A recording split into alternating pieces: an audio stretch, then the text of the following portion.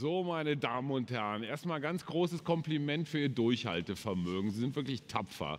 Sie sind vermutlich keine Berliner, weil das Berliner Publikum, wenn die einen Gong hören, dann denken sie, ach, ist ja noch eine halbe Stunde Zeit. Äh, aus anderen Teilen der Republik die Menschen, die denken, oh Gong, jetzt geht es bestimmt gleich los. Vielen Dank dafür. Ja, diese drei Herren äh, werden jetzt mal einen Teil der Energiewende beleuchten, der vielleicht ein bisschen kurz kommt. Äh, viele von ihnen sind Ingenieure, sind Zahlenmenschen, sind Projektmenschen, sind Verfahrensmenschen, sind Excel-Menschen. Das ist auch schön. Der deutsche Ingenieur ist ja in der ganzen Welt geehrt und geachtet. Deswegen denken ja auch alle, ja, wenn die die Energiewende hinkriegen, dann versuchen wir es vielleicht auch mal. Ne? Der Chinese, der Russe, der Amerikaner guckt sich mit großem Vergnügen an, was wir hier treiben. Äh, es gibt einen anderen Aspekt und äh, der dreht sich eher um, ich sage mal, die geisteswissenschaftliche Dimension der Energiewende. Wie kriegt man eigentlich den Bürger so mitgenommen? Ich erzähle Ihnen kurz eine Geschichte aus meiner Familie. Es muss Mitte der 70er Jahre gewesen sein. Mein Vater ein treuer Bundesbahnbeamter hatte eine, eine Bildungsreise nach Lingen gemacht. Lingen im Emsland, dort stand ein Atomkraftwerk und er kam zurück und erzählte uns am Abendbrottisch der Familie völlig begeistert, also als ob er Gott begegnet wäre. Äh, wir werden nie wieder ein Stromproblem haben. Äh, Strom wird praktisch umsonst sein und äh, das qualmt auch gar nicht. Also das ist so eine Wundermaschine, da kommt ohne Ende kostenloser Strom raus. Teile dieser äh, Ankündigung von damals haben sich bewahrheitet, andere nicht so. Ähm, aber was damals das Denken war, und dafür steht diese Geschichte, eine gro ein großes Vertrauen in Technik in technische Lösungen. Wenn man sich heute den Typus Wutbürger so anguckt, hm, vielleicht ein bisschen skeptischer das Ganze. Ich habe drei Herren hier streng durchquotiert, äh, mit denen wir, wie heißt es, die Energiewende, ach da, die Energiewende zwischen Kostendiskussion und gesellschaftlicher Akzeptanz, darüber wollen wir reden, und zwar mit einem Genossenschaftsvertreter, einem Soziologen und, ich will mich nicht unrecht tun, einem Zukunftsforscher. Christian Bräunig, äh, wir beide sind die einzigen Nicht-Professoren auf diesem Podium. Sie sind Vorsitzender des Vorstands der EGO. Das finde ich einen extrem originellen Namen für eine Genossenschaft, weil sie eigentlich das Gegenteil sind. Äh, die EGO ist die Energiegenossenschaft Odenwald und äh, sie machen nicht nur Energie, sondern inzwischen regionale, bürgergetragene Projekte kann ich als Schöneberger hier in Berlin Mitglied Ihrer Genossenschaft, der EGO, werden? Das geht Frau Leider an. Selbstverständlich können Sie Mitglied bei unserer Energiegenossenschaft Odenwald werden, aber ich möchte noch mal auf Ihre Bemerkung bezüglich der EGO zurückkommen. Ich glaube, dass es primär ein Problem der Energiewende darstellt, dass sich jeder selbst darum kümmern muss, weil im Grunde genommen die wesentlichen Faktoren oder die Strategie und die Stimmung nicht bei den Leuten ankommt. Und deswegen machen wir das vor Ort selbst. Also Sie nehmen den, das, was die Politik immer sagt hier in genau. Berlin, den Bürger mitnehmen? Das Problem ist, dass äh, ein Stück weit viel über Themen diskutiert wird, aber letzten Endes nichts Greifbares bei den Bürgern, wenn Sie es jetzt so direkt ansprechen, ankommt. Die Leute müssen es fühlen, die Leute müssen es sehen und sie müssen das spüren. Und nicht nur über ihre Stromrechnung, sondern sie müssen vor Ort sehen, dass es für sie einen Nutzen trägt. Und diesbezüglich auch, um Ihre Frage zu beantworten, wurde die Energiegenossenschaft Odenwald vor fünf Jahren gegründet, mit der klaren Aussage, die PS auf die Straße zu bringen und den Leuten vor Ort zu zeigen, dass sie sich beteiligen können. Aber Ihr Strom ist auch nicht billiger, oder? Doch, zumindest äh, ein einige Cent günstiger wie die des regionalen Energieversorgers, weil wir über die genossenschaftlichen Möglichkeiten ähm, gemeinsam Strom günstiger einkaufen können und vermarkten können. Und Ihre Frage noch, selbstverständlich können Sie Mitglied bei uns werden. Wenn Sie Ihr Geld in die Region, in den Odenwald investieren, werden wir schon was Sinnvolles finden, was wir damit anfangen können. Eine der ganz großen Wachstumsregionen in Europa, der Odenwald. Äh, Sie haben sicherlich so ein paar Formulare dabei, wo wir, die wir dann nach der Veranstaltung, also können Sie alle noch mal man kriegt ja nichts mehr für sein Geld. Also in ne? der Fußballersprache würde man sagen, sie liefern mir permanent Querpässe in den 16er, die ich nur verwandeln muss. Ähm, genau das ist nämlich das Problem. Wir sind eine sehr strukturschwache Region und ähm, müssen uns um Probleme regional selbst kümmern. Und da ist eine Facette die Energiewende, aber die andere Facette die infrastrukturelle Entwicklung, um die wir uns auch kümmern und das Thema Versorgung. Und Wir machen mal ganz schnell ein Spiel. In welchem Bundesland liegt der Odenwald? Ja, ich hörte jetzt einmal Hessen. Jemand noch ein anderes Angebot? Baden-Württemberg haben wir auch noch. Stimmt beides, ne? und ein Stück weit Bayern. Also der Odenwald ist ländergrenzend übergreifend. Also Sie Ja. haben Hessen, Baden-Württemberg und Bayern. Wow. Ne, Jetzt haben wir auch noch eine Bildungslücke geschlossen. So, wir kommen in eine zweite Boomregion der Republik, nach Leipzig. Professor Dr. Matthias Groß, Leitung des Departments heißt das, Stadt- und Umweltsoziologie am Helmholtz-Zentrum für Umweltforschung und am Institut für Soziologie an der Friedrich-Schiller-Universität in Jena. Ich, also Sie, Sie haben ganz viel gemacht. Erneuerbare Energiesysteme, Schwerpunkt Geothermie, industrielle Kontam Kontamination. Aber mein Lieblingsthema ist eigentlich experimentelles Nichtwissen. Das ist mir als Journalist, aus, ja. ist mir als Journalist extrem vertraut. Äh, nur was ist das genau? Das, also Sie haben da sogar ein Buch drüber geschrieben. Also experimentelles Nichtwissen, Umweltinnovationen und die Grenzen sozial-ökologischer Resilienz. Das passt vielleicht ganz gut zu dem, zu dem Panel hier, weil äh, äh, oft gesagt wird, man müsste der, äh, der Öffentlichkeit viel deutlicher machen, äh, wo, die, wo die Grenzen von Technologien sind und äh, äh, Transparenz und Beteiligung und so weiter. Und ich sage halt eben, es gibt keine sichere Technologie. Es, gibt immer Risiken. Es gibt immer Risiken und äh, man muss sozusagen die Anreize für ein Verständnis der äh, Energiewende an anderen Stellen ansetzen. Und experimentelles Nichtwissen ist äh, ein Begriff, den ich so ein bisschen in den Raum geworfen habe, um darauf äh, äh, hinzuweisen, dass man eben äh, äh, häufig Dinge nicht weiß. In der Wissenschaft allemal. Und dass es einfach ein großes äh, Experiment ist, auch die Energiewende möglicherweise, nicht nur eine Metapher, die mit äh, unvermeidbaren Unsicherheiten verbunden ist, aber gleichzeitig die Angst davor äh, genommen werden muss.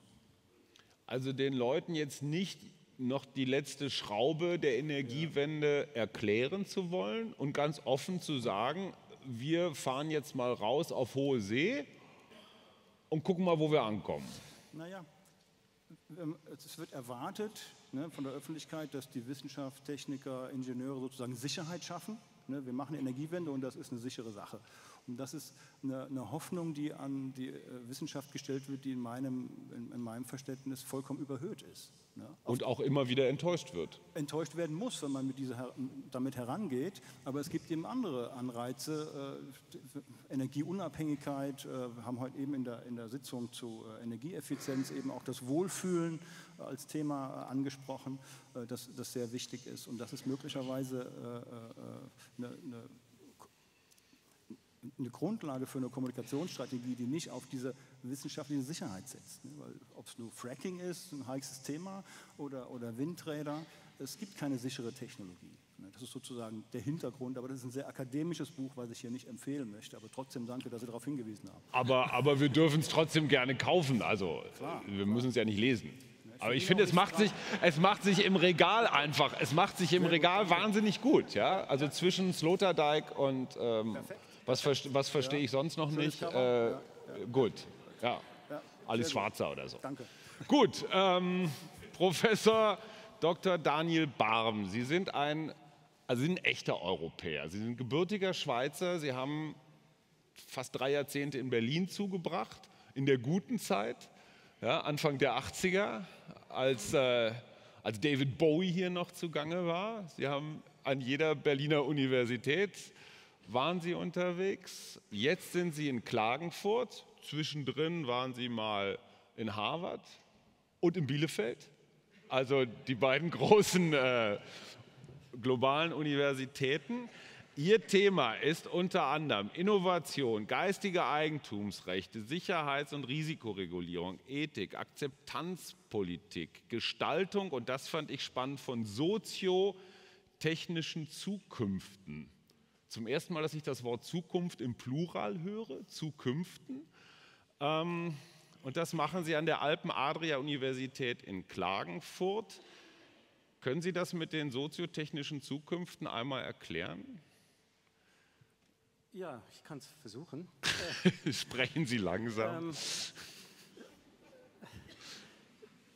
ja, Sie haben ja auch meine Schweizer Herkunft. Ja, ja, dann. Ich bin allerdings in Deutschland oder in Berlin natürlich ziemlich beschleunigt äh, worden. ähm, ja, ähm, die Zukünfte, das spricht sich im Englischen sehr leicht. Im Deutschen ist es allerdings ähm, unüblich, äh, im Plural zu sprechen. Ähm, das hat einfach damit zu tun, dass äh, es ja eine Illusion wäre, dass dann, wenn wir über Zukunft nachdenken, äh, als könnte man da von einer Zukunft sprechen, äh, die es eine, einmal geben wird, die wir vielleicht mit ganz ausgefeilten Methoden jetzt auch schon erkennen können, weil das, denke ich, ist ja nicht der Fall, sondern auch, und der Energiebereich ist ja einer, wo das schon lange demonstriert wurde, einer, wo man darüber nachdenken äh, muss, was sind mögliche Szenarien, Szenarien von Zukunft, also insofern verschiedene Zukünfte. Äh, und diese Zukünfte gilt es nicht nur vielleicht zu erkennen, vorwegzunehmen, sondern sie werden eben auch äh, gemacht. Und wenn man von soziotechnischen Zukünften spricht, geht es einfach darum, dass, und ich denke, dass die Energiewende ist ein sehr schönes Beispiel, dass die Zukunft, äh, in der wir leben werden, genauso wie unsere Gegenwart, wir leben ja in einer technologischen Kultur, in einer durch Wissenschaft und Technik geprägten Zivilisation, wird sowohl durch technische als auch durch äh, soziale, äh, also gesellschaftlich im weitesten Sinne Faktoren bestimmt werden. Und wenn wir auch über Energiewende nachdenken oder versuchen, sie zu machen, zu gestalten, dann sind da natürlich einerseits technische Innovationen äh, von ganz großer Bedeutung.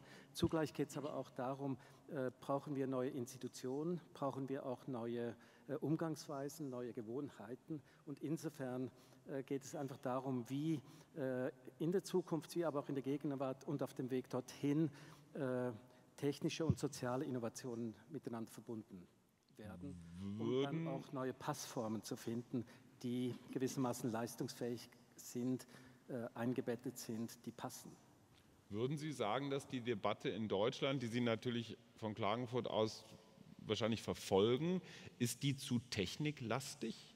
Sind wir zu wenig psychologisch, soziologisch akzeptanzorientiert unterwegs? Ähm, ich weiß nicht, ob sie zu techniklastig ist. Also ich war ja bis Ende letzten Jahres äh, äh, an der RWTH Aachen tätig und habe es dort auch wirklich auch genossen, mit Ingenieuren zusammenzuarbeiten und auch wirklich mit sehr kreativen, äh, visionären äh, Energieforschern und hatte auch vieles mit dem VDI zu tun äh, in der Zeit. Äh, also ich denke, es muss, gerade wenn es darum geht, äh, eine Energiewende zu machen, da kommt man ohne gute Ingenieurstechnik nicht aus. Aber also die nicht, haben wir ja. Na gut, aber die wird auch gemacht. Also mhm. die, die ist ja noch nicht fertig und vieles. Äh, gleichzeitig ist aber natürlich das Spannende, dass gerade jetzt mit der Energiewende auch die Fragen von Politik, von soziokulturellen äh, Faktoren neu an Bedeutung gewonnen haben. Und man merkt auch, und das sieht man zum Teil auch an den Instituten äh, oder auch an den Institutionen, die jetzt mit Energiepolitik äh, befasst sind, dass äh, es nicht mehr ausreicht, kompetent zu sein in Energietechnik äh, oder in Energiewirtschaft, sondern dass gerade auch die politischen Fragen eine neue Brisanz gewonnen haben. Zum Beispiel ja, bezüglich äh, Regulierung, also wie macht man denn wirklich diesen Prozess auch des Umsteuerns oder auch Fragen äh, natürlich der, der Marktgestaltung. Äh, ähm, ja, also mhm. insofern sind eben diese politischen, gesellschaftlichen, kulturellen Fragen gerade im Energiebereich neu auf die Agenda gekommen und das macht die Energieforschung, Energiepolitik auch zu einem interessanten Feld, mhm. denke ich, der interdisziplinären Zusammenarbeit.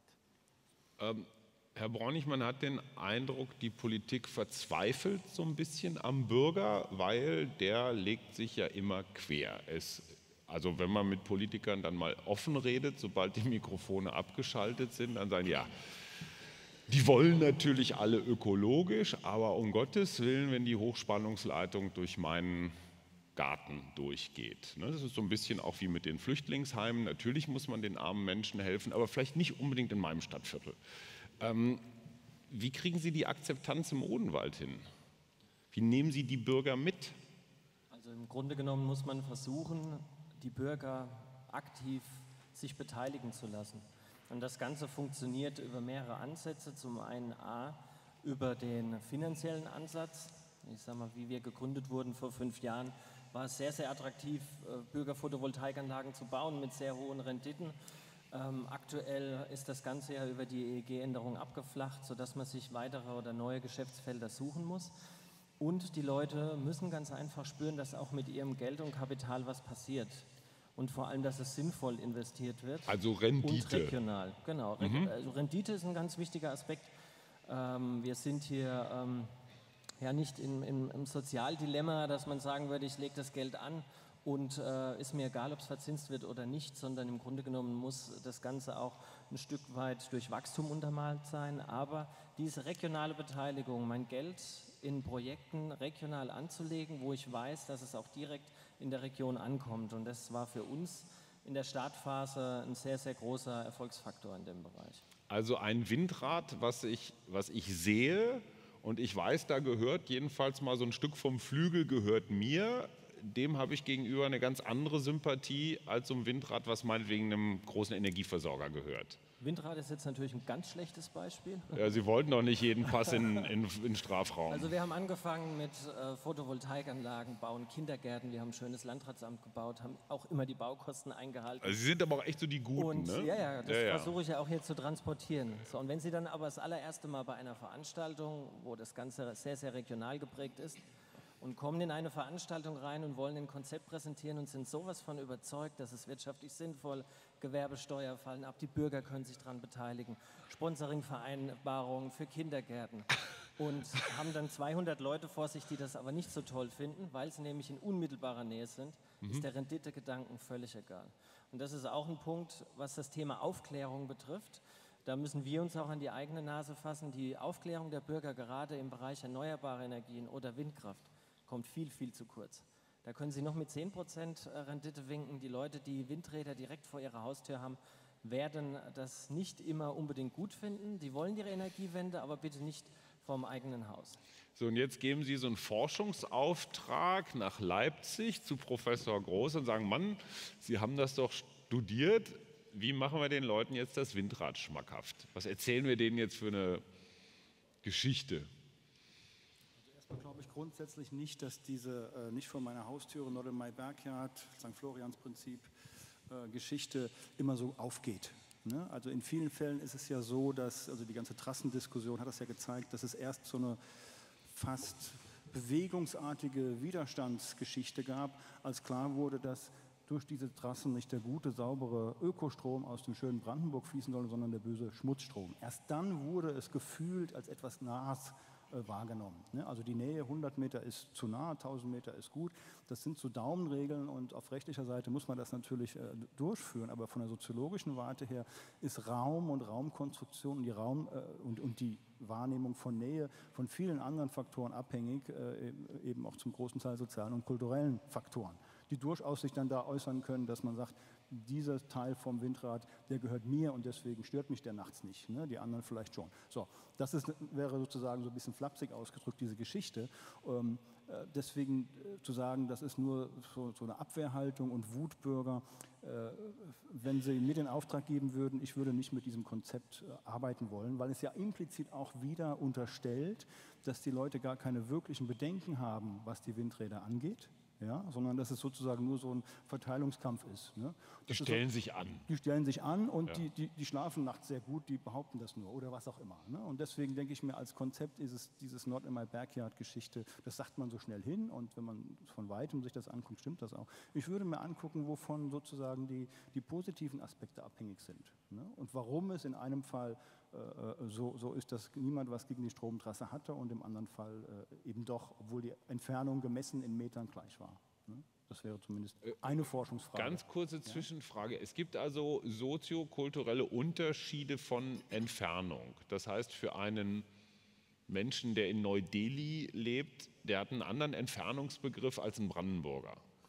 Das ist sicherlich so. Dazu kann ich es aber nicht sagen. Äh, aber ich würde schon sagen, auch der gemeine Bewohner des Bundeslands Bayern hat abhängig von den Informationen, die er über irgendeine Technologie hat, ein ganz anderes Nähe- und Ferne-Gefühl. Aber der hat immer andere Gefühle als der Rest der Welt. Also Bayern ist, glaube ich, jetzt ein schlechtes Beispiel. Äh, da liegt der Widerstand, ist irgendwie so habituell. Aber gut, wir haben keine Vorurteile. Aber evidenzbasiert in diesem Fall. Ich Odenwald sagen, deswegen. ja, der Odenwälder ist auch so eine Marke. Ja? Äh, sind Sie von daher bräunig? Ich bin selbstverständlich gebürtiger Also, okay, dann bitte ich vielmals um Entschuldigung. Ich bin auch froh, in der Region aufgewachsen zu sein. Und waren Sie überhaupt schon mal im Odenwald? Ja, in Michelstadt. Oh, da ja, komme ich her. Sehr schön. Da kommen Sie her. Das hat das älteste, Rathaus, das älteste Rathaus Deutschlands. Genau. Stimmt das? Ja. Ja, ohne Vorbereitung. Einfach so aus dem. Da haben Sie geheiratet. Ja, Meine Damen und Herren, wenn das, nicht, wenn das nicht auch mal so kleine Nebeninformationen sind, die so eine Talkrunde einfach unglaublich auflockern. Ähm, Professor Barben, sehen Sie das ähnlich wie Kollege Groß, dass äh, Glauben Sie auch, die Leute haben ernste Sorgen oder sind das auch viele Mythen? Ne? Also zum Beispiel, wenn da so grüner Strom durch eine Hochspannungsleitung fließt, dann strahlt der vielleicht auch nicht so viel ne? als, als jetzt Atomstrom zum Beispiel. Naja. Ähm. Also jetzt schon mal so äh, äh, semi-wissenschaftliche Anmerkung. Also wie, wie viel Mythen, wie ja. viel Wissen steckt dahinter?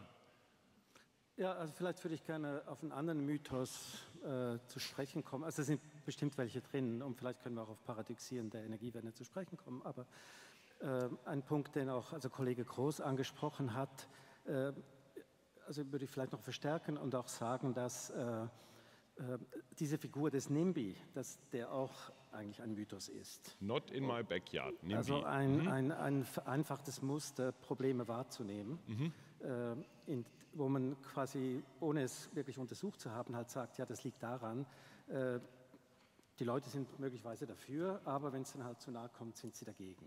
Äh, wenn man das empirisch untersucht, äh, merkt man oft, dass das nicht stimmt.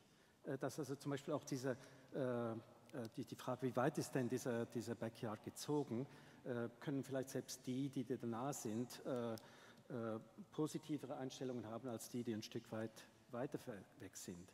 Äh, es gibt ganz unterschiedliche äh, Motivlagen. Es gibt auch zeitliche Dynamiken, dass vielleicht in der Planungsphase oder in der Bauphase äh, mehr Skepsis und Kritik ist, als dann, wenn eine Anlage installiert ist. Und das große Problem, natürlich auch das politische Problem jetzt dieses Ausdrucks NIMBY ist, ist, dass er etwas nicht begreift, was er bekämpft. Es ist also kein analytischer Begriff, sondern es ist ein polemischer Begriff und er verstärkt eigentlich das Problem, indem man Leuten als, Ignoranz, mhm. als Ignoranten eins auf die Birne haut mhm. äh, und sie damit natürlich auch verkennt, was sie vielleicht auch motiviert. Und dass es darum viel eher darum ginge, und das jetzt von einem sozialwissenschaftlichen Forschungsstandpunkt gesprochen, aber das ist ja dann auch für Politik relevant, zu verstehen, äh, was da eigentlich äh, Sache ist und was die Motivlagen sind und was die Leute äh, umtreibt. Ähm, so, also das denke ich, das ist eine der Mythen und auch der wirklich Vereinfachungen im Umgang auch mit, mit Problemen, die es vielleicht gibt und auch eine Verstärkung von Problemen und vielleicht sind die auch in der Tat ganz anders. Ich, ich, ich, vereinfache nochmal, man hat so ein bisschen den Eindruck, die deutsche Diskussionskultur, egal worum es geht, ob es um Fußball geht, ob es um Energiewende geht, ob es um Russland, Putin, Ukraine geht, endet relativ schnell in Salafisten gegen Hooligans. Also entweder ist man Putin-Versteher oder man ist Putin-Hasser. Entweder man ist Energie-Versteher oder man ist NIMBY. Entweder man ist gegen Bayern oder für Bayern. Hat sich in, also FC Bayern jetzt, hat sich bei uns in der Diskultur, Diskussionskultur eine, eine Verhärtung ergeben oder war das schon immer so?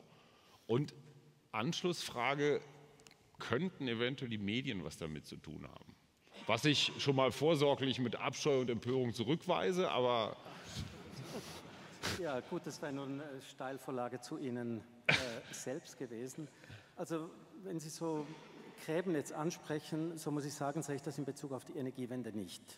Sehen Sie nicht? Nee, ich sehe das nicht. Mhm. Ähm, weil also ich eigentlich schon noch davon ausgehen würde, dass es eine große Unterstützung gibt für dieses Projekt Energiewende. Äh, und wenn ich jetzt an den Titel der Veranstaltung denke, also Energiewende zwischen Kostendiskussion und gesellschaftlicher Akzeptanz, äh, gut muss ich auch sagen, ich verstehe den Titel nicht ganz und wo da das Zwischen ist, weil die Kostendiskussion ist ein Problem, ist, ist ein, eine, eine Diskussion, die mit das Akzeptanzproblem konstituiert. Bildet. Also der Titel ist so gewählt, um möglichst viele Zuschauer anzulocken und mit, mit Kostenthemen kriegen Sie den Saal immer voll, wie Sie sehen. Ja, ich wollte das ist reines Marketing. Also ja, das mag, ja sein. Ähm, ich denke, es ist wichtig, sich auch nochmal zu vergegenwärtigen, die letzten drei, vier Jahre. Ähm, Energiewende nach Fukushima. Mhm. Das war ja auch ein großer Aufbruch.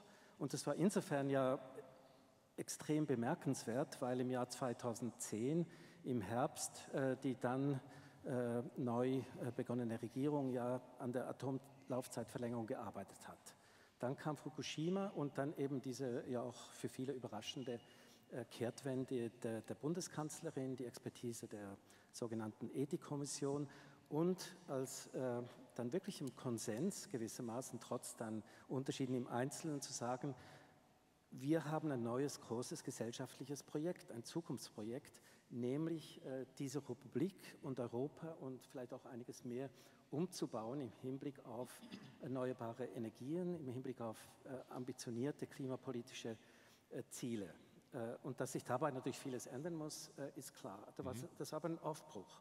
Und wenn ich jetzt zurückdenke an den letzten Wahlkampf, das war dann vornehmlich Kostendiskussion. Mhm. Ja, ist die Energiewende zu teuer? Können wir uns das leisten? Äh, ein halbes Cent mehr an EEG-Zulage oder von mir aus auch drei. Also wo diese, äh, sagen wir mal jetzt auch zum Teil kleinkarierten äh, Kostendiskussionen ohne wirklich Kontextualisierung geführt wurden, wo ich sagen würde, da wurde zum Teil gerade diese große Aufgabe, äh, vor der wir stehen, jetzt als, als Land, aber ich würde auch sagen, als, also auch darüber hinaus, äh, wurde auch klein geredet und wurde dann plötzlich gefragt, ja, können wir uns die Energiewende leisten oder äh, bringt es zu viele Belastungen, ohne dann wirklich halt zu sagen, von welchen Kosten reden wir, für wen und was sind eigentlich die Vergleichsbezüge. Und da müsste man ja auch dann unterscheiden, also was sind die Preiskomponenten äh, der Kilowattstunde, was heißt das für den einzelnen Bürger, äh, was heißt das für Unternehmen, was heißt das für die Gesellschaft, ja, und wobei vergleicht man dann jeweils und was wären die Alternativen. Und von daher, ja, aber die, genau die gleiche Begeisterung hatte mein Vater in den 70er Jahren, als es um die Kernkraft ging. Ne? Er hat auch gesagt, ja, da kommt es auf ein paar Milliarden Subventionen nicht an. Das ist ja ein tolles gesellschaftliches Projekt. Und da ist man dann, siehe Fukushima, auch ein bisschen ernüchtert worden. Und ich habe den Eindruck, wo man sagt, oh, mit der Atomkraft haben wir das letzte fett subventionierte gesellschaftliche Energieprojekt jetzt nicht ganz zum Erfolg gebracht. Jetzt machen wir mal eine Nummer kleiner. Sehen Sie auch diese gesamtgesellschaftliche Begeisterung für die Energie oder Unterstützung für die Energiewende, Professor Groß? Also wenn man den äh, verschiedensten Umfragen, die methodisch ganz verschieden aufgebaut sind, glauben darf, dann gibt es auf jeden Fall eine, eine, eine breite Unterstützung. Ne? Nur wie sie im Detail, das hat der Kollege Baben ja äh, aufgedröselt, umgesetzt wird, da gibt es Widerstand. Ähm, aber ich glaube, der, der, der Hintergrund ist, dass die Gründe für die Unterstützung der Energiewende und da widerspreche ich so ein bisschen äh, dem Kollegen, äh, viel tiefer liegen. Sie haben unter anderem auch mit dem großen Umweltbewusstsein in Deutschland zu tun. Und da sind wir auch stolz drauf als Umweltbewusstseinsführer. Ähm, und das ist äh, fußt, soweit wir das aus den Befragungen herausfiltern können, auf einem sehr idealisierten Natur- und Ökologieverständnis. Man will sozusagen die Energiewende heranführen, um die bösen fossilen Energieträger äh, da zu lassen, wo sie, wo sie liegen. Also, also die, die deutsche Romantik. Die deutsche Romantik, sehr stark von der Romantik immer noch geprägt. Das unterscheidet uns möglicherweise auch von unseren Nachbarländern. Ähm, und deswegen unterstützt man die Energiewende. Das ist sozusagen das Problem. Die Gründe für die Unterstützung der Energiewende haben mit starkem Umweltbewusstsein zu tun, weil man der Natur was Gutes tun will. Und was nicht gesehen wird, ist, dass mit der Energiewende sozusagen grundlegende sozial-strukturelle und äh, strukturelle Umbauten äh, vorgenommen werden müssen. Das heißt, auch unsere geliebte Heimat und unsere super geliebten Wälder werden ein kleines bisschen und auch ein bisschen mehr verändert. Und das passt einfach nicht zusammen. Das ist sozusagen der Widerspruch, den wir in unseren Untersuchungen immer wieder äh, rausfiltern können. Auf der einen Seite Energiewende super, weil Natur schützen. Hm. Auf der anderen Seite wird, ist nicht klar, was damit gemeint ist. Und das ist eben ein Jahrhundertprojekt, was sehr viel verändern wird. Ja, und das, das ist, äh, glaube ich, äh, möglicherweise nicht so gut rübergekommen, dass das was das bedeutet. Ne? Und das bedeutet eben auch, dass man Risiken eingehen muss, die man nicht so gut abschätzen kann. Und das geht nicht so gut runter nach den Erfahrungen mit, den, äh, mit, der, mit der Kernenergie, die ja sozusagen auch als die super saubere Energie äh, propagiert wurde und auch so verstanden wurde. Die Enttäuschung ist schon da. Ne? Herr Bräunig, die akademischen Meinungen, können Sie die mit gelebtem Leben und Erfahrung unterfüttern? Ähm, ich kann den, den ganzen Äußerungen zu 100 Prozent zustimmen. Denke nur, dass wir hier über einen Bereich diskutieren, weil wir uns alle mit dem Thema, das sagt ja auch der Kongress hier aus, sehr, sehr intensiv befassen. Aber ich denke, ähm, aufgrund dessen, dass genau diese Tatsachen in, bei der Bevölkerung nicht 100 Prozent ankommen, das ist genau die Erfahrung, die wir machen. Im Grunde genommen ist das Thema Energiewende keine Sozialromantik, sondern im Grunde genommen ein knallhartes Geschäft auch. Sie müssen Projekte versuchen umzusetzen und es wäre ganz praktisch, wenn diese ganzen Projekte sich wirtschaftlich auch tragen. Sonst wird es irgendwann niemand mehr interessieren, dass man sagt, wir haben die Umwelt gerettet, das rechnet sich wirtschaftlich nicht. Ich sehe auch ein Problem ganz einfach darin, wenn wir jetzt als Unternehmen oder als Genossenschaft irgendeine Strategie haben, suchen wir auch im Grunde genommen eine Zielsetzung. Wir wollen 100 Prozent erneuerbare Energien in der Region oder dementsprechend die Energiewende vorantreiben. Dann brauche ich zumindest eine Strategie, um dieses Ziel zu erreichen. Und ich spüre in unseren Gesprächen auch mit der Bevölkerung, dass genau diese Strategie, wie man überhaupt hinkommt, bei der Bevölkerung nicht ankommt. Das Einzige, was ankommt, ist das Thema Stromrechnung ja. bei der Bevölkerung in dem Bereich. Und da sehe ich schon einen gewissen äh, Knackpunkt in dem, was man eigentlich will oder denkt zu wissen, mit 50.000 verschiedenen Ausarbeitungen, einzelnen Strategien, aber letzten Endes ein Masterplan in dem Bereich fehlt komplett. Und die erfolgreichen Projekte, die wir sehen bundesweit in Teilbereichen, sind alle oder größtenteils auf Initiativen begründet, die Bürger äh, in die Hand genommen haben oder aktive Bürgermeister oder Kommunen mit Klimaschutzkonzepten, Klimaschutzbriefen, Finanzierungsmöglichkeiten. Die Bereiche, wo richtig viel Geld in die Hand genommen worden ist, möchte ich in zehn Jahren mal sehen, wie die sich wirtschaftlich nachhaltig tragen sollen. Und das ist meines Erachtens nach ein Problem, dass wir ganz woanders stehen, als wir eigentlich denken zu stehen weil wir auch mal bei der Bevölkerung nachfragen sollten, was letzten Endes bei der Bevölkerung ankommt. Das sagen Sie ja selber. Es kommt erstens an die Stromrechnung und da sieht man, es wird teurer. Es kommt zweitens an, oh, die Solarzellen, die bauen jetzt die Chinesen. Ja, das war mal eine stolze deutsche Industrie. Jetzt haben sie in Sachsen-Anhalt und in anderen Landstrichen haben sie ganz viele Fabriken, die leer stehen. Was gibt es noch an so Bürgerinformationen? Äh, ja, und, und, es werden riesengroße Stromtrassen von Nord nach Süd gebaut, die, die die Landschaft verschandeln. Und das tun ja die Windräder schon. Also ein ganz wichtiges Thema ist, denke ich, äh, Anreizsysteme zum Thema Gebäudesanierung durchzuführen. Also wir haben über ein Klimaschutzkonzept regional mal geguckt, welche Häuser aus den 60er, 70er Jahren sind, die sind energetisch im desolaten Zustand. Wenn man die ähnlich wie bei denkmalgeschützten Gebäuden mit gewissen Abschreibungsanreizen hinterlegt, wird das zukünftig, denke ich, ab nächstem Jahr, wo auch so eine Gesetzesänderung geplant sind, äh, einen zusätzlichen regionalen Schub geben. Und dann sind wir wieder genau bei dem Punkt, dass es bei der Bevölkerung letzten Endes ankommt. Aber da ist auch ein Punkt gefragt, eine zentrale Stelle zu haben, wo sich die Leute und die Bevölkerung zu diesen Themen informieren können. Tun die das dann auch?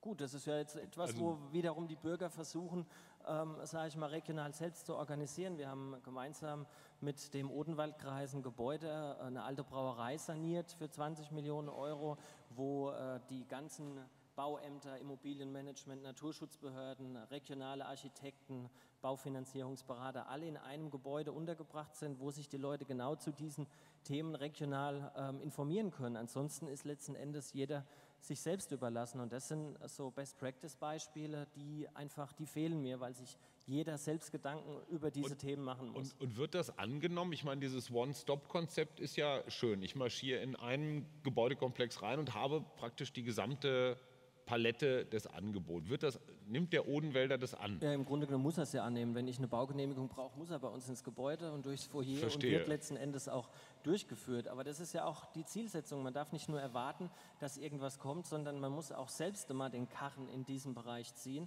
und muss gucken, ob sich Projekte umsetzen lassen. Und ähm, der Odenwaldkreis, um das nochmal anzufügen, ist ein Schutzschirmkreis. Äh, mhm. Die können selbst nicht mehr investieren, wenn wir dieses Gebäude nicht gemeinsam mit dem Odenwaldkreis errichtet hätten, hätte er aus eigener Kraft gar keine infrastrukturelle Entwicklung in diesem Bereich durchführen können. Und das ist abschließend vielleicht noch genau das, was ich meine. Die Leute müssen das spüren, dass sich etwas gemeinsam umsetzen lässt. Ob das der Bau von Photovoltaikanlagen sind, Windkraftanlagen, Gebäudesanierungskonzepte, regionale Konzepte oder einfach letzten Endes das, was meine beiden Vorredner gesagt haben, mal zusammenzufassen und in Worte zusammenzufügen, die jeder Bürger versteht, um dies dann auch in Veranstaltungen oder in Schulen zu transportieren.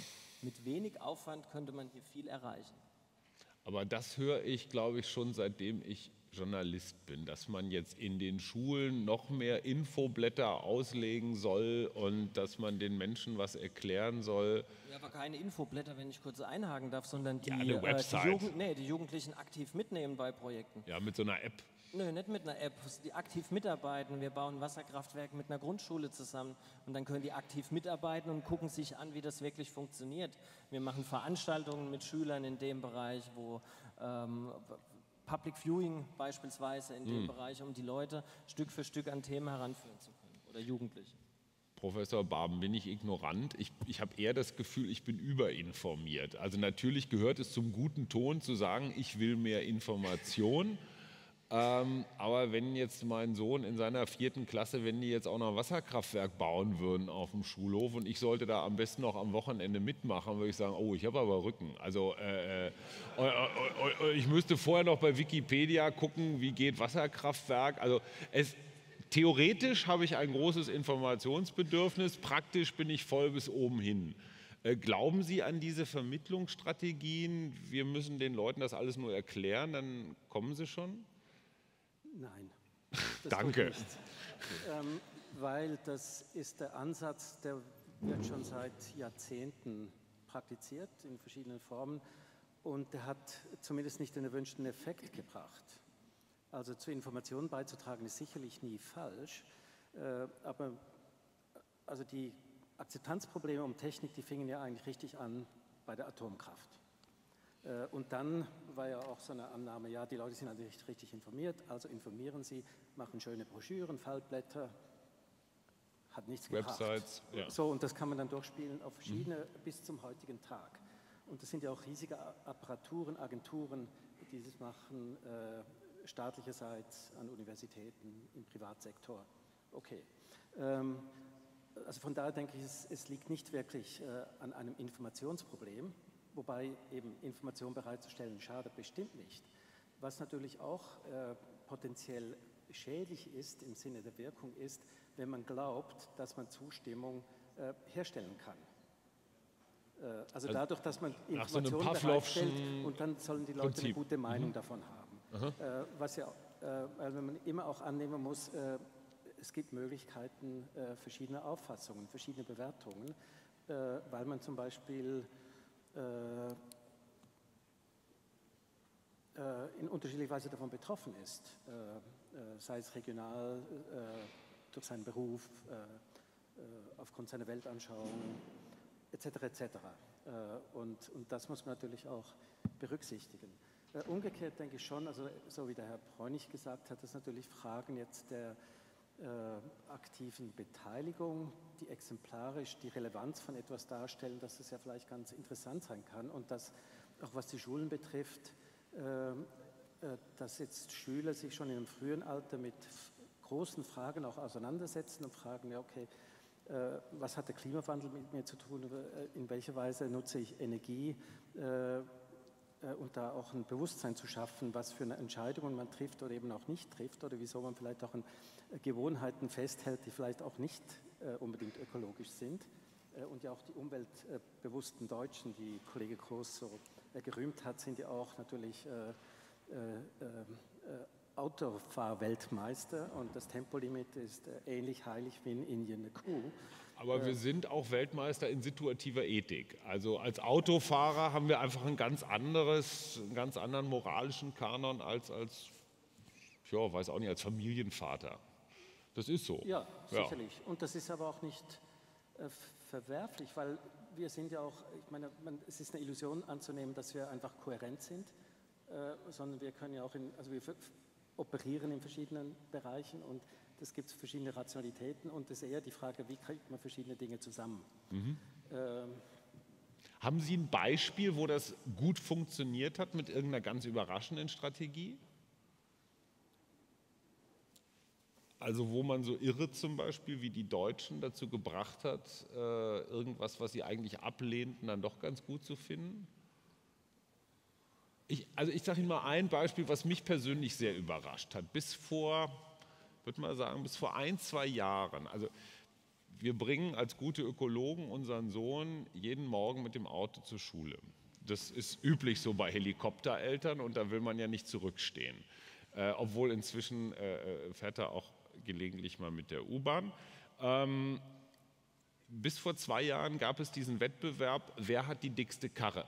Ja, also welcher Vater fährt mit dem fettesten Auto bei der Schule vor? Und natürlich war so ein Audi Q7. Also es musste ein SUV sein, er musste über zwei Tonnen wiegen und er musste, wenn man durchtrat, 60 Liter äh, pro, äh, also auf 100 Kilometer aus dem Auspuff rausblasen.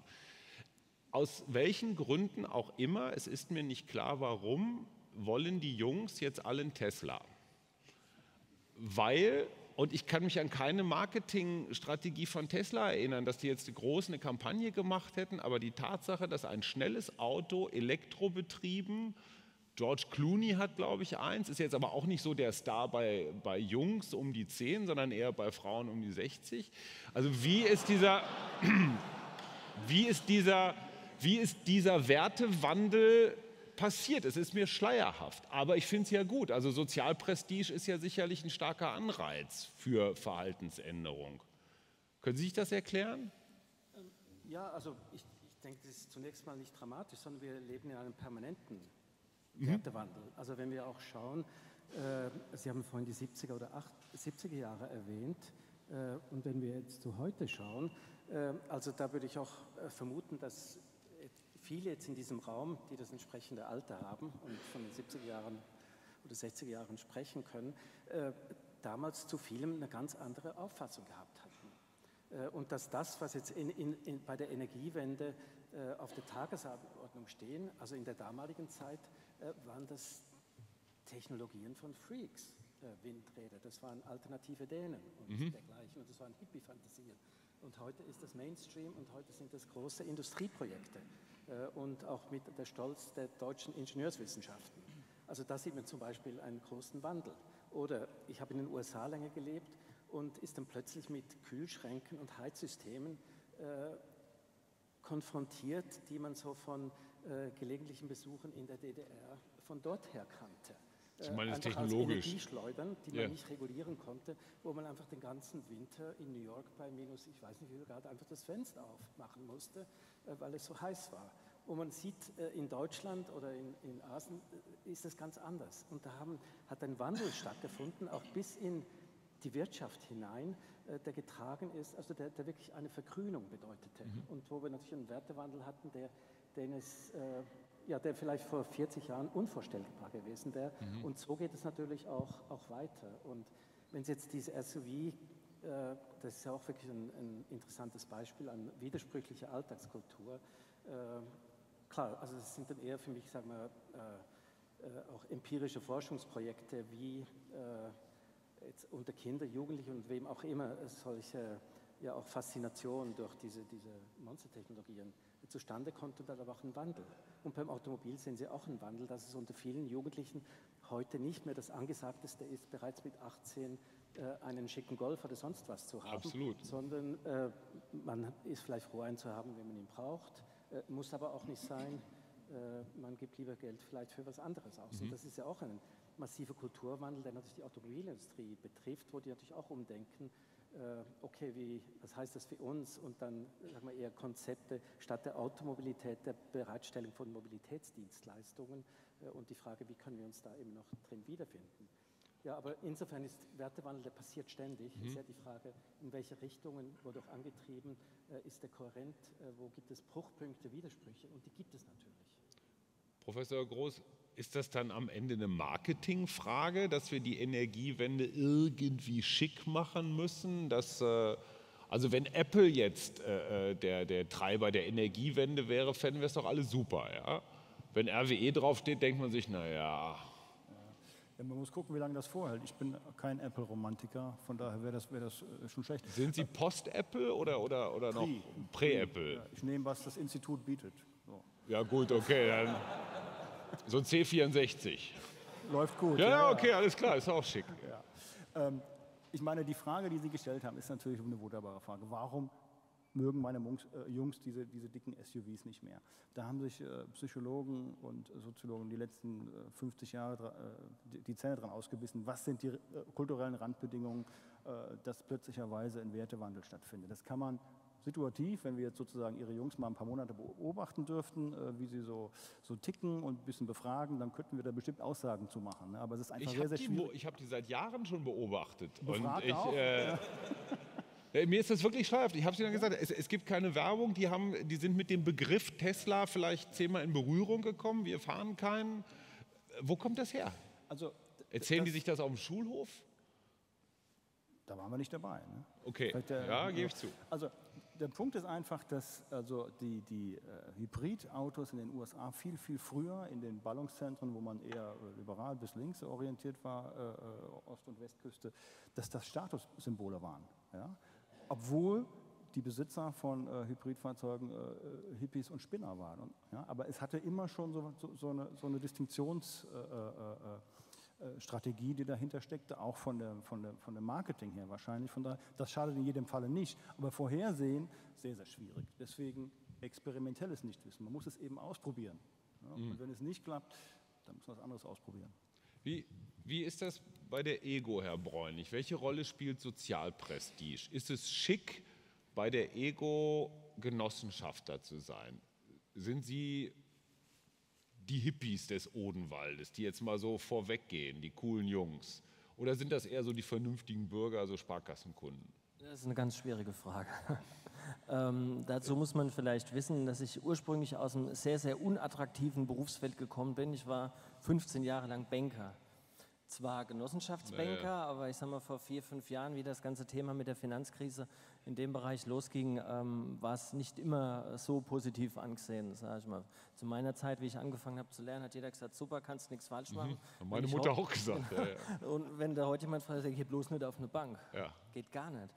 Ähm, auf Ihre Frage zurückzukommen. Ähm, wir haben einfach eine Notsituation gehabt in dem Bereich. Es fehlte eine Plattform, auf der sich Angebot und Nachfrage treffen. Es gab viele Leute, die Dachflächen zur Verfügung stellen wollten oder ihr Kapital investieren wollten oder Leute, die sich daran beteiligen wollten, aber es, ähm, eine, keine, es ist keine Gruppendynamik entstanden. Und über die genossenschaftliche Rechtsform haben wir einfach geguckt, was lässt sich wirtschaftlich umsetzen, wo kann man Ökonomie und Ökologie ausgleichend gestalten. Das heißt, ähm, wir machen auch nur etwas, was sich wirtschaftlich tragen lässt, sodass hier so ein Hype entstanden ist. Und wir haben mit unseren Mitgliedern ähm, vierteljährlich Mitgliederkonferenzen, die praktisch ihre Ideen einbringen können. Ist natürlich auch vieles dabei, wo man sagt, äh, puh, schöne Idee, überlegen wir uns in fünf Jahren mal.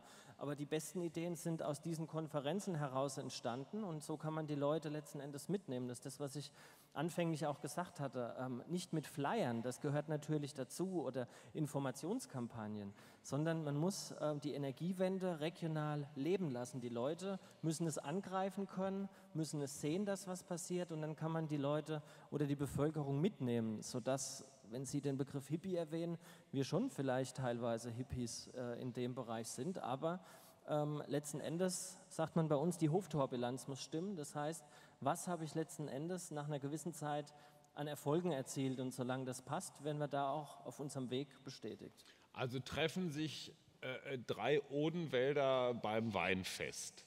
Sagt der eine, ich bin bei der Genossenschaft, äh, bei ihrer, bei der Ego. Was sagen die anderen? Hallo, einer von diesen grünen Spinnern oder ey, das ist aber schlau, da hast du dein Geld gut angelegt. Also ist der im sozialen Ranking oben oder eher so, naja, mal gucken. Ich denke, dass es relativ ausgewogen ist. Ich sage mal, ein Erfolgsfaktor, denke ich, ist. Es hört doch keiner zu von Ihren Mitbürgern. Sie können offen reden. Ich rede offen.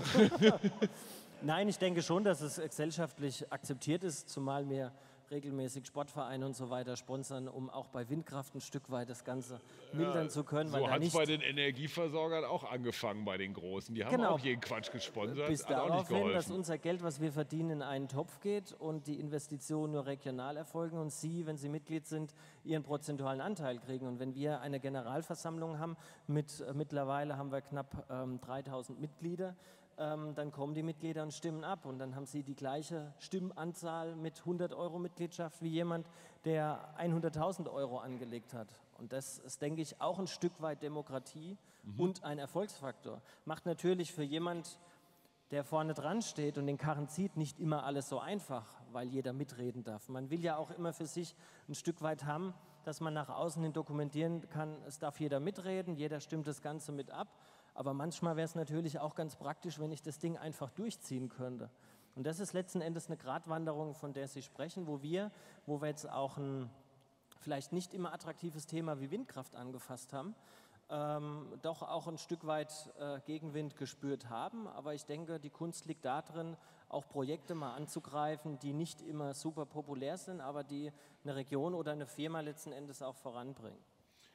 Professor Baum, was können wir von dem genossenschaftlichen Modell lernen? Die Leute partizipieren jetzt einfach mal finanziell. Das ist ja schon mal gut. Sie dürfen mitreden, ob sie das immer tun oder nicht, egal, aber sie haben die Möglichkeit. Und es gibt ja auch dann noch, was vielleicht nicht zu unterschätzen ist, so ein regionales Gemeinschaftsgefühl, so wir. Ähm, ist das ein, so eine Art Modell für die Energiewende? Kann man das übersetzen in größere Zusammenhänge oder funktioniert das nur in, im Odenwald? Na, ich denke schon, dass das ein interessanter Ansatz ist, äh, der auch im Prinzip verallgemeinerbar ist.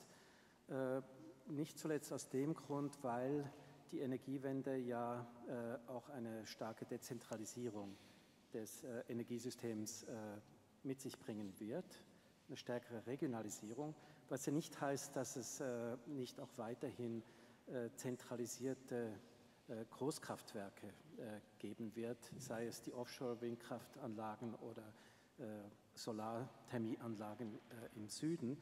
Aber insgesamt wird die Dezentralisierung ein, Ergebnis der Energiewende sein. Und da ist natürlich dann auch eine Möglichkeit, sich in Form von Energiegenossenschaften zum Beispiel zu beteiligen.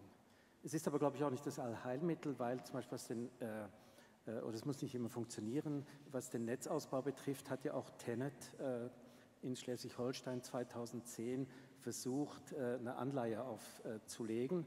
Und äh, damals hat ja auch der Umweltminister Altmaier äh, vorgeschlagen, dass man den Netzausbau quasi mit so Bürgeranleihen mitfinanziert und eine Renditeversprechen von 5% hat.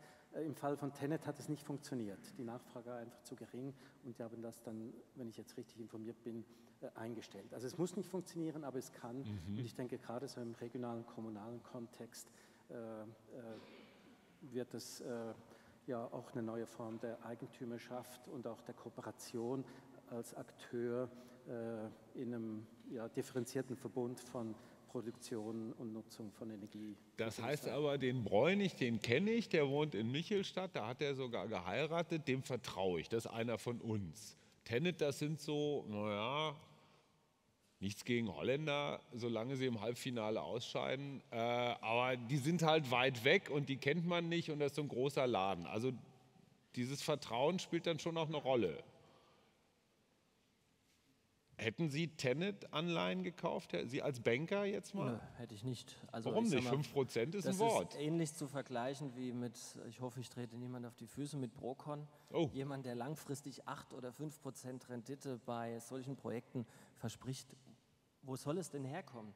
Wenn eine regionale Bank oder eine Deutsche Bank oder eine Commerzbank 2 Prozent gibt oder anderthalb, muss man sich doch mal die Frage äh, Stellen, wo das Delta herkommen soll. Deswegen habe ich auch mit Leuten, die diese Anteile oder Anleihen dann gezeichnet haben, muss man nicht unbedingt immer Mitleid haben, weil sie darauf hingewiesen wurden von vielerlei ähm, Aspekten, dass das Ganze sich wirtschaftlich äh, langfristig nicht tragen wird. Aber auf Ihre Frage zurückkommen zu wollen, Natürlich ist es für uns regional wesentlich einfacher. Wenn jetzt ein Großprojektierer ein Projekt machen will, ob das jetzt Windkraftanlagen sind oder eine Bauträgergeschichte, wo ein Landratsamt, eine Grundschule oder ein Schwimmbad gebaut wird. Wenn wir mit dem genossenschaftlichen Modell kommen und sagen, ihr müsst nicht europaweit ausschreiben, lasst das Ganze über uns euch darstellen. Wir bauen das, geben euch eine Baukostengarantie und ich verspreche dir, ich nehme nur regionale Handwerker. Und die Bürger können sich äh, daran beteiligen mit speziellen äh, Anteilszeichnungen. Ist es so, dass natürlich der strategische Vorteil vorhanden ist und wir kommen auch aus der Region, wir kennen die Mandatsträger. Ähm, wir haben jetzt noch keinen Wettbewerb verloren, verloren die letzten fünf Jahre in so einem Großprojekt. Hm. Professor Groß, Sie, Sie nicken anerkennt. Ist das Genossenschaftsmodell übertragbar? Auf, übertragbar auf andere Regionen? Idealerweise auf die deutsche Energiewende? Also ich würde, würde denken, da steckt eine Menge, Menge, Hoffnung drin. Ich sehe auch nicht, warum es nicht übertragbar ist. Der Punkt ist ja, wir, wir beginnen ja erst langsam zu verstehen, was für Dynamiken dahinter stehen. Und äh, wenn ich mir die, die Forschung in den Sozialwissenschaften, Umweltsozialwissenschaften angucke, es gibt, glaube ich, mehr Forscher, die sich mit Genossenschaften befassen, als äh, Mitglieder momentan. Mhm. Also wir müssen ja erst mal gucken. Also schon äh, sexy Thema. Es ist absolut sexy und ich verstehe auch die Begeisterung, die Herr, Herr Bräuning äh, hier, hier äh, transportiert. Ähm, und ich denke auch, es ist auf viele, viele äh, Regionen äh, übertragbar. Äh, ich habe Ihre Frage jetzt ein bisschen so verstanden, ob es irgendwie auf, auf ein nationales Level übertragbar genau. ist. Da hätte ich so vom Bauchgefühl her erstmal Bedenken, die wir wahrscheinlich alle haben. Ne? Also es ist ein Vorort-Instrument. Die, die Dezentralisierung, die Vertrauensbildung, die ja ex extrem wichtig ist. Ne? Also auch wenn was schief läuft, dann ist es halt eben so. Dann weiß man, okay, beim nächsten Mal müssen wir es anders machen. Das ist, glaube ich, extrem wichtig. Von daher würde ich denken, auf der regionalen Ebene super. Äh, darüber hinaus würde ich Bedenken äußern wollen. Ne? Hm.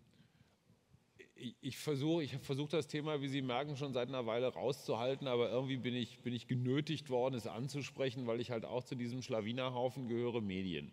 Äh, welche Rolle spielen die Professor Barben. Haben Sie das? Ich meine, wir sind ja dann auch immer so Skandalisierer, Hysterisierer. Wir sagen, öh, alles immer nur teuer und problematisch. Äh, natürlich haben wir eine gesamtgesellschaftliche Verantwortung, die wir auch gerne wahrnehmen, aber die Auflage muss ja auch stimmen.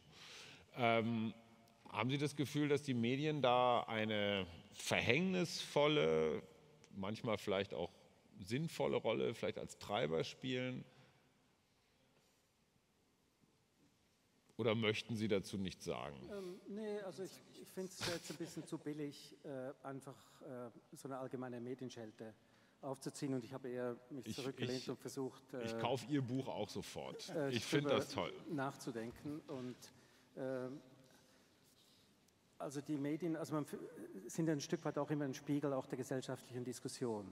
Äh, und wenn ich mich vorhin etwas beklagt habe darüber, dass vor ein, zwei Jahren die Energiewende äh, doch merklich äh, ein bisschen eingeengt wurde auf jetzt Fragen der, der Kosten, dann haben natürlich die Medien auch insofern einen Anteil, als sie dann das in der Weise auch äh, reproduzieren. und, vielleicht, und wenn sie dann nicht dagegenhalten und vielleicht auch die größeren Fragen und andere Stimmen zu Wort kommen lassen. Andere Stimmen gab es natürlich gleichwohl und man sieht da auch natürlich die, in gewissem Maße auch die Widersprüchlichkeit des Meinungs, äh, Bildes, aber die Medien können jetzt ja auch nicht toller sein als die öffentliche Debatte insgesamt. Also von daher, ja, denke ich, ist es einfach ein Stück weit äh, zu billig jetzt da auf die Medien. Okay, Herr, äh, Herr, Herr Bräunig, wollten Sie auf die Medien einprügeln? Möchte ich eigentlich nicht direkt. Das, äh, ich denke, das kommt immer darauf an, aus welcher Sichtweise man mhm. das Ganze sieht. Also ist die Kritik, Odenwälder Zeitung oder... Nö, das möchte ich damit nicht sagen. Stehen wenn, die Ihnen im Weg oder sind die hilfreich? Es kommt darauf an, zu welchem Thema. Gut. ähm, wenn Sie, äh, ich muss dieses Thema Windkraft wieder ansprechen, aber wenn hier Mandatsträger sind aus anderen Regionen, werden die das Thema kennen. Das wird nun mal nicht von jedem geliebt. Und wir sind nun mal in einem Zeitalter im Moment, wo es populär ist, auf andere zu zeigen, wenn Fehler gemacht werden oder wenn irgendwas Unpopuläres gemacht wird, dann stehen die nächsten Wahlen an, dann schimpft man auf solche Themen vielleicht. Das ist ein Stück weit, äh, bremst das Ganze aus. Ich würde mir eine Versachlichung bei vielen emotionalen Themen in diesem Bereich wünschen. Aber es gehört zu einer Demokratie dazu, sich auch mit Kritik auseinanderzusetzen. Und nur wenn man, sage ich mal, die äußert oder annimmt, kann man sich stückweise auch verbessern. Also ich möchte jetzt da keinen Rundumschlag auf die Medien machen, auf den einen oder anderen Redakteur vielleicht. Mhm. Ähm, Können Sie Namen Sie aber nennen? nicht, nein. aber ansonsten ist alles, alles gut. Haben Sie das Gefühl, dass Medienvertreter interessiert sind? Können Sie denen komplexere Zusammenhänge erklären und finden die dann auch Niederschlag in der Berichterstattung? Oder geht es, ich sage mal immer, um, der, um den Klassiker äh, Strompreis steigt? Primär geht es um den Klassiker Strompreis steigt oder Wind weht nicht oder Infraschall oder sonstige Dinge. Infraschall. Bei Windkraftanlagen, was man gern hervorzieht, aber das Problem ist ganz einfach, wenn Sie ein komplexes Thema erklären oder auch einen Schriftsatz hinsenden, fehlen meistens die Punkte, die das Ganze erläutern. Und äh, das ganze Thema wird unter Umständen bei manchen Bereichen noch weiter aufgebauscht. Aber ich denke, das gehört dazu. Da muss man sich mit auseinandersetzen. Jeder, der eine Firma hat, hat auch immer Gegenwind. Und so ist es auch bei einer Genossenschaft in einigen Punkten. Das macht so ein bisschen den Eindruck, Professor Groß, als wäre jetzt so die öffentliche oder die veröffentlichte Meinung, naja, sind halt so wie immer, aber jetzt keine Game Changer, wie man bei uns in Medien. Mit veröffentlichter Meinung? Das- Naja, also jetzt hier, hier die regionale Zeitung zum Beispiel, die meckert halt rum, wenn der Strompreis steigt und das ist deren, deren konstruktiver Beitrag zur Energiewende. Das kennt man so, das macht aber auch nichts. Oder haben Sie das Gefühl, dass die, dass die Medien vielleicht auch noch irgendeine Rolle gesamtgesellschaftlich bei der Energiewende zukommt, die sie vielleicht nicht ganz ausfüllt? Okay, ja, das in jedem Falle. Ich meine, dass äh, Journalisten sozusagen äh, eine Message verkaufen müssen und auch, äh, was die Auflagenstärke angeht, äh, schwarz-weiß argumentieren müssen. Das ist ihr Job. Ne? Das muss man einfach klar haben. Was manchmal ein bisschen anstrengend ist, gerade als Sozialwissenschaftler, aber natürlich auch als Ingenieur, ist, dass man sozusagen mit einem Medienvertreter spricht, ja, der macht ein Interview und man merkt schon beim zweiten Satz, der weiß eigentlich schon, was er schreiben will. Ne? Diese Erfahrungen machen aber nicht nur wir, das ist sozusagen eine ganz normale Kann ich Geschichte. mir nicht vorstellen. Ja, gut, wir können es ja mal ausprobieren. Ja. Ähm, das, ist, das ist manchmal ein bisschen schade, aber auch da gewöhnt man sich in gewisser Weise dran. Hm.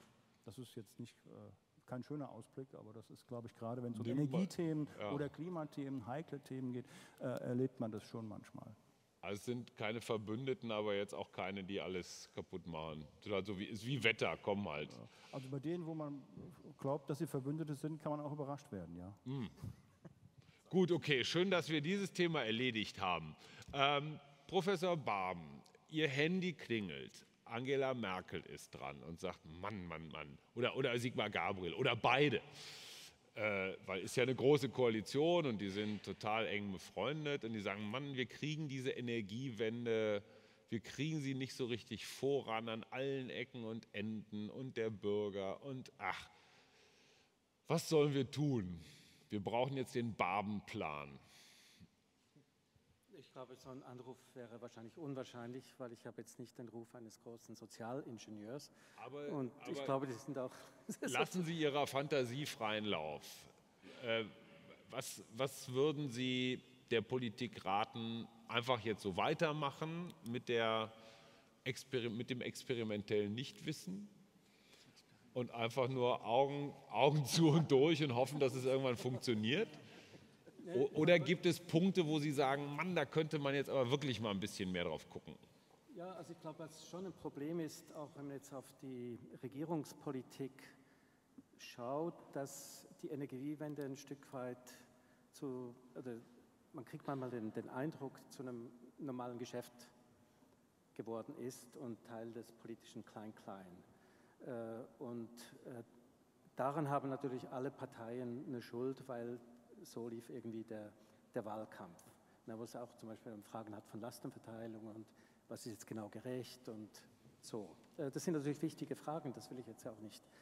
So, aber was schon aus dem Blick geriet natürlich, die sind einfach die, die großen Fragen jetzt auch der äh, Zukunftsgestaltung Deutschlands und das kann man nicht aussitzen.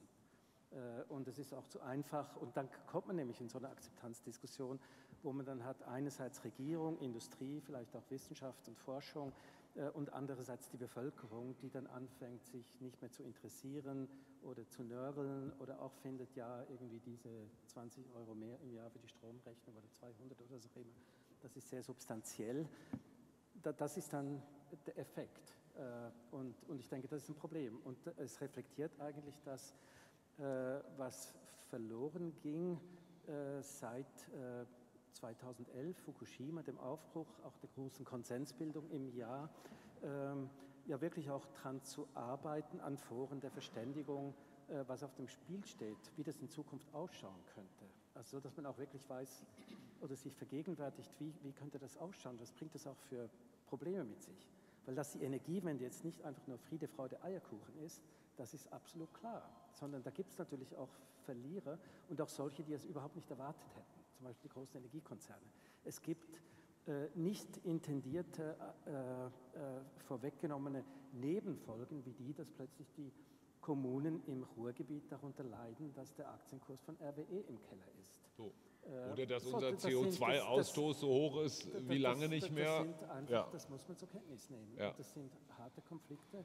Und die Frage, ja, wie wird das in Zukunft wirklich funktionieren, es ist ja auch vieles, was man unter einen Hut bringen muss. Also Versorgungssicherheit, Umweltverträglichkeit, Wirtschaftlichkeit, ja und auch die soziale Gestaltung, sodass man sagen kann, ja, es gibt nicht sozusagen die, ja, diejenigen, die, also ja, sagen wir Ungerechtigkeiten, die nicht akzeptabel sind. Also von daher sind das schon große, schwierige Fragen und die Verständigung darüber zu führen äh, und auch Beteiligungen zu schaffen, da gibt es, glaube ich, schon einen Mangel. Äh, und das ist aber ein Stück weit, und das kann ich jetzt aus der Distanz als äh, Schweizer sagen, das reflektiert natürlich ein Stück weit auch die Formen dieser Demokratie. Äh, und insofern bin ich immer wieder auch beeindruckt dessen, was direkte Demokratie äh, zu leisten vermag. Auch gerade im Hinblick auf äh, Langfristprojekte, Großprojekte, schwierige Projekte, wo auch Volksentscheide wichtige Modifikationen bringen können. Das ist jetzt klar, das sind Unterschiede, die muss man zur Kenntnis nehmen. Und da gibt es jetzt auch keinen anderen Import. Und es gibt ja gute Gründe, dass das politische System so ist, wie es ist. Äh, und auch der Föderalismus hat da manchmal so seine Vor- und Nachteile. Aber Sie lassen durchblicken, so eine Volksabstimmung äh, und dann eine, ich sage mal, auch Selbstvergewisserung, wo man hin will, wäre hilfreich. Ja, und sich zu fragen, also was äh, sind die Ziele und was sind auch die Gestaltungsmöglichkeiten? Mhm. Weil es gibt nicht äh, ein vorweggenommen, also ich glaube auch ein Masterplan, das ist eine Illusion. Das kann es auch gar nicht geben. Die Energiewende ist zu komplex, die ist auch regional mhm. zu fragmentiert die ist technisch, technologisch zu komplex. Mhm. Also ein Masterplan, das wäre eine Illusion. Und ja. ich glaube, man sollte nicht sagen, die fehlt und dann sagen, der, die Regierung, äh, der Regierung dies vorwerfen, dass sie keinen hat. Ich glaube, es wäre nicht gut, so einen mhm. haben zu wollen, weil es würde wahrscheinlich sowieso nicht funktionieren. Mhm. Professor Groß, das große gesellschaftliche Narrativ, was man braucht, die große Geschichte funktioniert eigentlich immer ganz gut, wenn man einen Feind hat.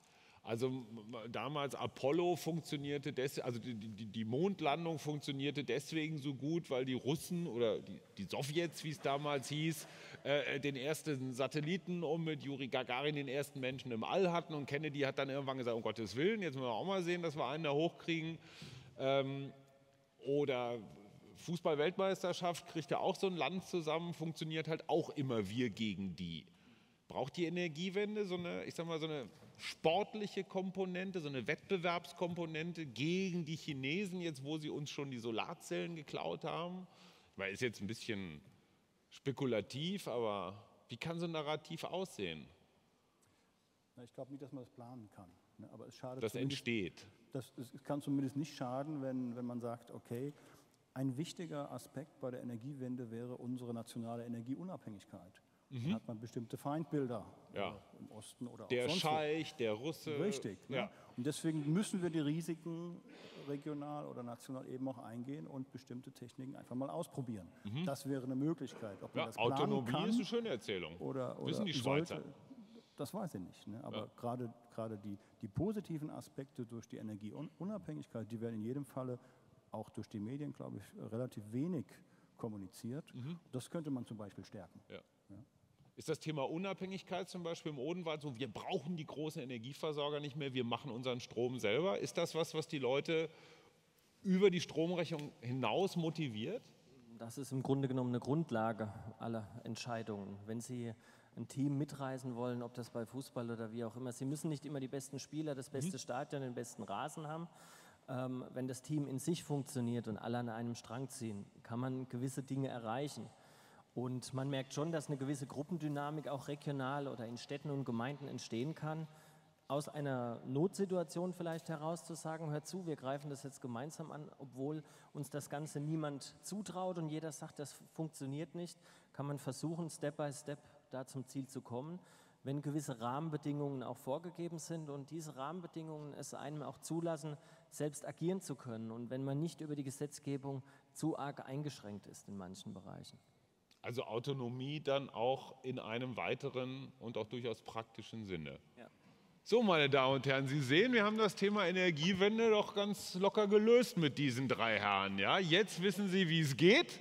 Vielen Dank, Christian Bräunig, ein Banker, aus dem noch was Anständiges geworden ist, Vorstandsvorsitzender der EGO. Schön, dass Sie dabei waren. Professor Matthias Groß aus Leipzig und Professor Daniel Barben aus Klagenfurt. Schön, dass Sie da waren. Vielen Dank.